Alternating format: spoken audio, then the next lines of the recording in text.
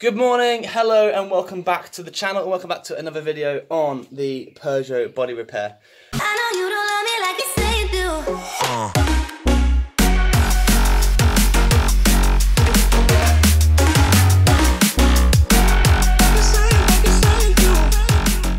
So yesterday I managed to get the dent out of the outer sill. Uh, I welded the holes that I used the um, slide hammer with um, last night I grounded on all the welds. I filled the uh, the sill as well. So today I'm going to um, sand down that, that body filler and then touch up bits that need to be done. It needs to be built up a little bit. If we take a look down here. So it's pretty good. It's pretty smooth. Just here, maybe needs a little bit more. There's a bit of a lip there. But overall, it's a much better, well, a hell of a lot better than it was this time yesterday. So uh, I'm going to put another coat of filler over it. Um, it's going to be a very sort of thin layer as well, so it's going to be quite good. So let's get everything out of the way because I've got bikes and all sorts in there. And then get cracking. So uh, let's do this.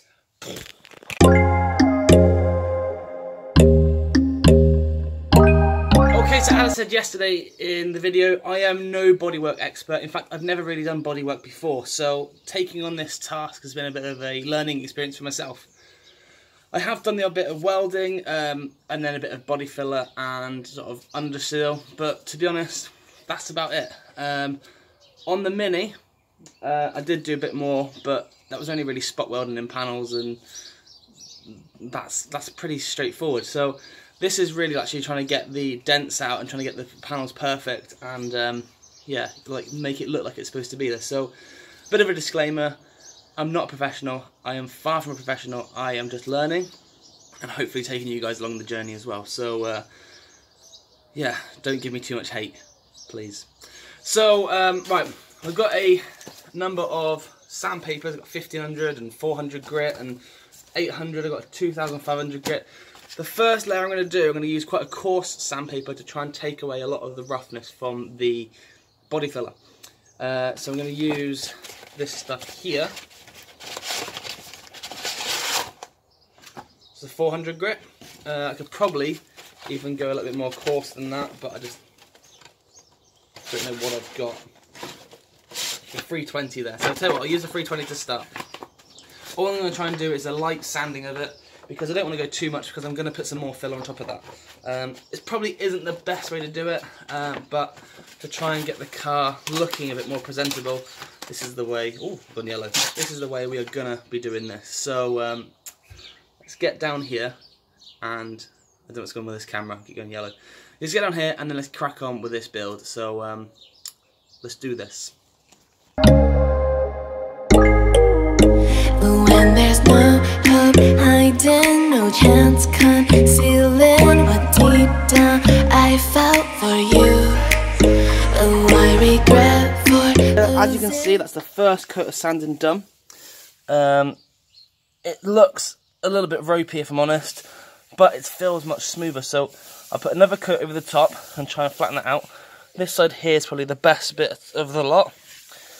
But yeah, I'll try and put another coat over and hopefully we can get this looking a lot more presentable by the end of the second pass.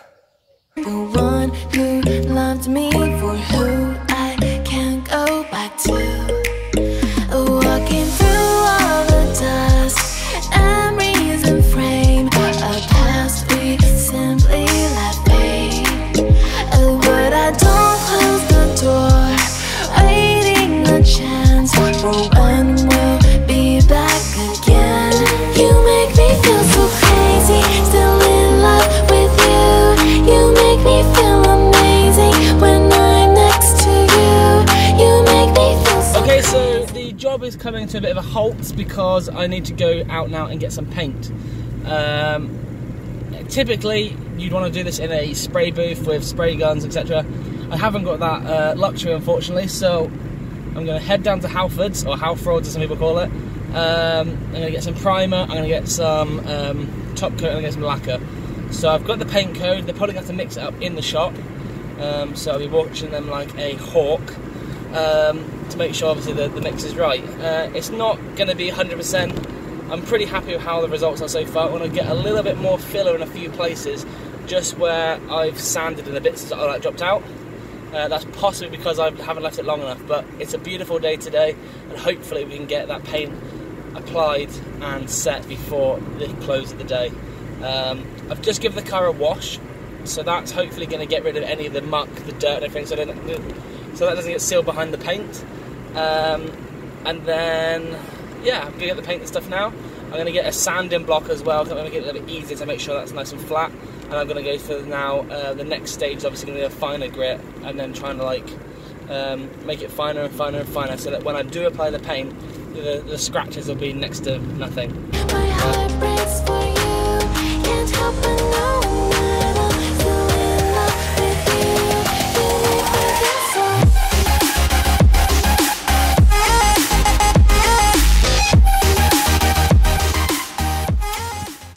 Wasted trip that was. Uh, so they don't have the paint. They have to order it up. They used to be able to mix paints in store, but um, yeah, not anymore. So I'm going to now go to somewhere else.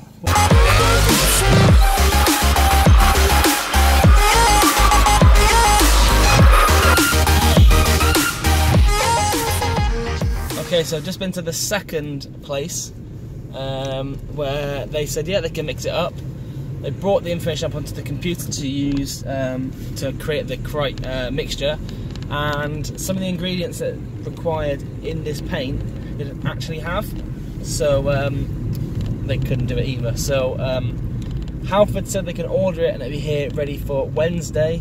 Uh, this place said that they not really interested or can't get hold of the parts, so they can't do it.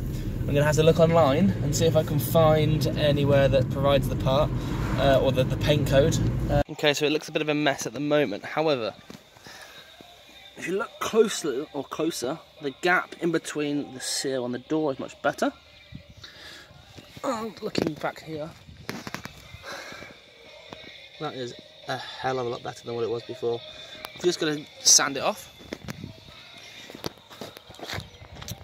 Okay, so I've purchased this sanding block. Now the idea of this is to have the sandpaper wrapped around and you can get a nice smooth finish as you're trying to sand it off. Uh, zoom in a little bit maybe. See this bit at the end of my finger just bulges down ever so slightly. So I'll make sure I go underneath that like this. Um, but I'm actually really happy with it. So yeah, really happy with how it's going so far. Um, the oh, the bodywork itself, it's not perfect, but again, I must stress I am not a professional. I'm just doing this to try and make it look a bit more presentable. Um, and yeah, I think I've achieved what I've set out to do. The next stage really is to try and prep it as best as possible. Uh, I'm going to sand it. I'm going to use a. Um, I've got a 800 grit here.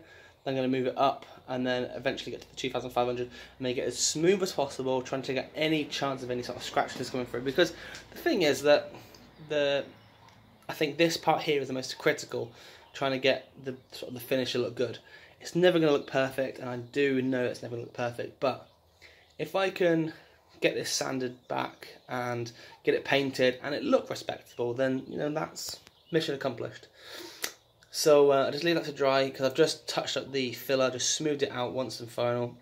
There's a few patches where it just dipped in. And uh, yeah, I'm going to sand this down. I'm going to prep it up. I've got some um, paint wipes over here. And I'm going to so sand it down, paint wipe it, prep it, put the first coat of primer down. I'm going to mask up the door because obviously, as you can see, um, the door is actually off the car. Uh, that is down here. Now, in order to get to the area where the sill had raised, I had to take the door off to be able to hammer that down.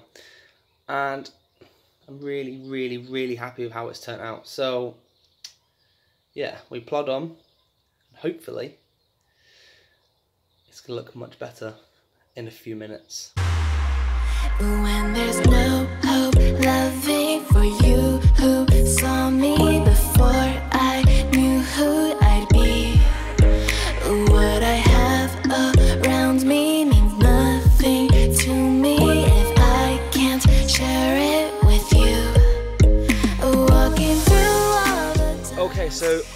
news, I've ordered the paint. Bad news, it won't be here till Wednesday. It's now Sunday. So uh, I've prammed up the sill, I put a bit of underseal underneath, put the back door up again. I'm going to take the car back so that my mother-in-law can have use of this until Wednesday when the paint turns up and I can take it back, take the door back off, paint the sills. I've ordered an aerosol, I think 400 millilitres of the correct paint code for this. And I've also ordered a touch-up pen to do the bottom of the doors. So I'm really happy with how it's turned out. There are a few lumps and bumps which you could probably pick out on the camera. But overall, for a home repair job of the panel was destroyed, I'm, I'm pretty happy. So I'm going to sign off here and I will see you guys in the next video. Thank you so much for watching as always. Please click that thumbs up button, please comment below and please subscribe to the channel to see more stuff like this. Take it easy. Bye.